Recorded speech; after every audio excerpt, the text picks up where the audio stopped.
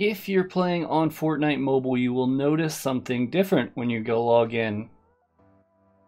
Basically, it's not updated to the new season.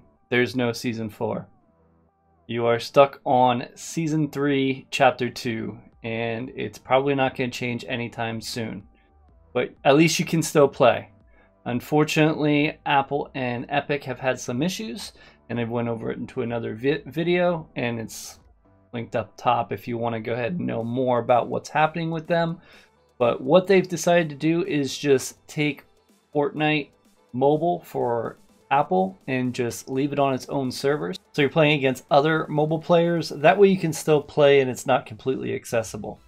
So this is how it's going to be. You're not going to have many updates at all. You're just going to pretty much be able to play Season 3. You're not going to get any new updates. You may still get like new skins and things like that. And you may even be playing against more of bot lobbies depending, like you can see right here, a bot is already approaching me. You might want to know how you can update to go ahead and go to season four. Right now you can't. If that does change, of course I'll let everyone know, but right now it's as is. So this is the map, this is what you're dealing with.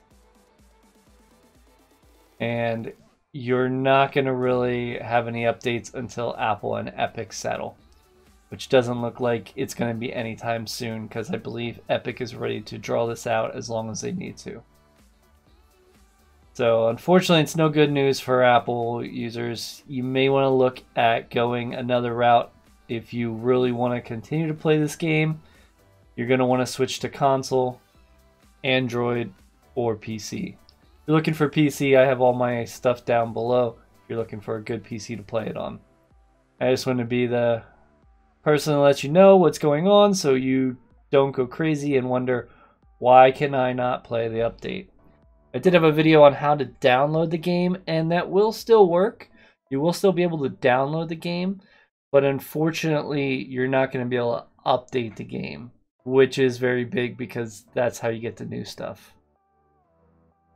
So once again, there's no workaround. Epic could make it so there's a workaround so they can download it from their website and then you go in and just change the profile to trusted because it'll be an untrusted source and they can do it that way.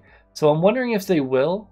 I'm surprised they haven't brought that up yet. I think they're just trying to win this way and they want to put pressure on apple and they think the way to do it is make them mad by going through and not providing a new update for people and having people rebel against apple basically so that's what's going on.